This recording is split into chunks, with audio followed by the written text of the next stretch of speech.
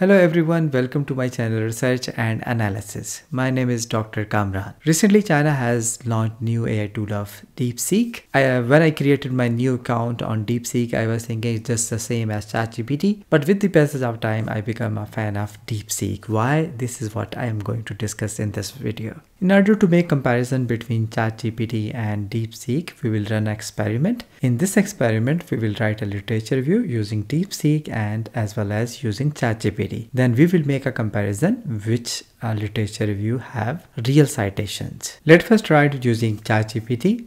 I have written a command, write a literature review on the topic of CSR and employee engagement, use at least 15 citations and also provide complete references in bibliography.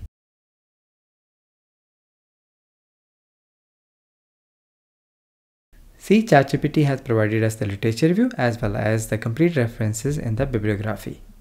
Now let's just confirm whether these references exist in real world or not. Now we will copy each of these references and paste in Google Scholar to check their authenticity. You can see both articles have same author details. Both are published in 2012 uh, and the title is also just the same and it is also better just to check from site and here you can see the complete reference you can see both are just the same. Now copy next reference. Again paste in google scholar. You can see whole of the information is just same. In the same way we can check all these references. It is better just to check from the last.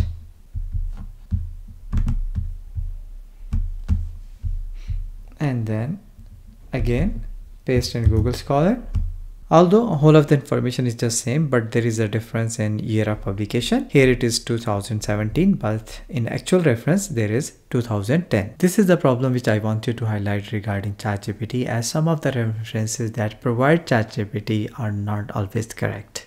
Let's copy this reference paste in google scholar and search. See, this reference do not even exist. Recently, I have observed the same problem with one of the theses that I was examining. In that thesis, most of the references that provided by the student were incorrect and they do not even exist anywhere. It seems that the student has potentially used ChatGPT or any other AI tool for writing his literature review. If we will check other references, we will find the similar issues in those references as well. Now we will use same prompt in DeepSeek let's just copy this is my DeepSeek account. Let me paste same prompt here. Write a literature review on the topic of CSR and employee engagement.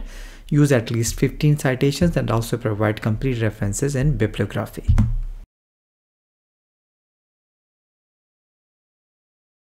See, DeepSeek has provided us the literature review as well as the complete references in bibliography. And the good thing is they have also provided us the DOI numbers of most of the references. So it become easy for us to see their authenticity. We can simply click this DOI number and we can open this article. See, this is the article and all the information is the same as provided by DeepSeek. We can also confirm these references authenticity through Google Scholar. We can simply copy and search through Google Scholar. See, it has provided the same reference as provided by DeepSeek all of the information is just same. Now just check few other references from the last. Let's just open this DOI. You can see all the information which was given at DeepSeek is the same as given in this article. Let's just open last DOI. You can see the same title, same other details, including the DOI number. So this is the difference between ChatGPT and DeepSeek as all the references that provide by DeepSeek are correct and exist in real world. This is a, just a start and uh, hopefully with the passage of time we will learn more things what DeepSeek can do or how DeepSeek can help us in academic writing. It seems to be a game changer in academic writing. Stay tuned to our channel for more informative videos like this. Thanks for watching.